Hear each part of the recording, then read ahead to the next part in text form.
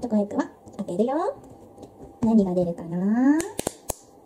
うん。デレレレレじゃあ開けてみます。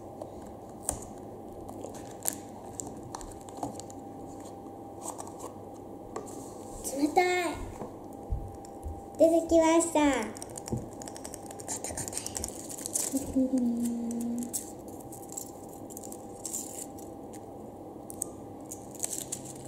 出ました。ほんと冷たい。チョコエッグの卵。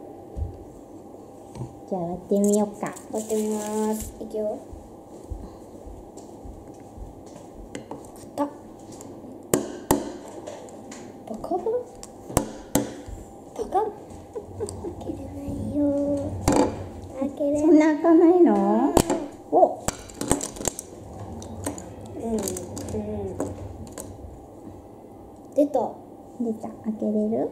汚れてる。じゃあちょっと開けるにチャレンジしてみよ何が出るかな？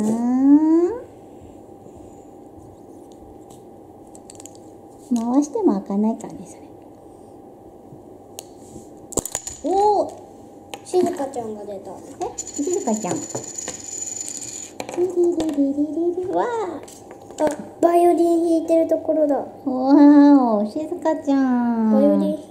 習ってるんだねそうだよ。とってもね、下手っぴなんだよ、バイオリン。なんで？わからない。バイオリンを弾いているしずかちゃんでした。のび太の同級生の可愛い女の子、しっかり者で勉強もできる。みんなの人気者だが将来結婚相手としてのび太を選ぶ。今回はバイオリン姿で登場。バイオリンの腕前は極めて下手だと言われている。こんだけ。ラインナップ、こちら、シークレットなんだろうね。あー、ドラえもんが良かったな。しずかちゃん。だいよ。かわいいね。かわいいしずかちゃん。ペタッピーなバイオリンを弾いてまーす。バイオリン弾き。かわいくない。以上。このバイオリン取れるの？ん？取れない？うん。じゃあチョコレート食べよう。パパと食べるちょっとだけ食べよう。久しぶりだね。この、このチョコエッグは、ドラえもんの、多分ね、半年ぐらい買ってからね、ずっと冷蔵庫に入ってましたよ。だから冷たかったんだねえいつ出てくるかなと思ったでしょ。半年ぐらい冷蔵庫で眠っていたチョコエッグだよ。ね。一個いただきます。一回いたうーん。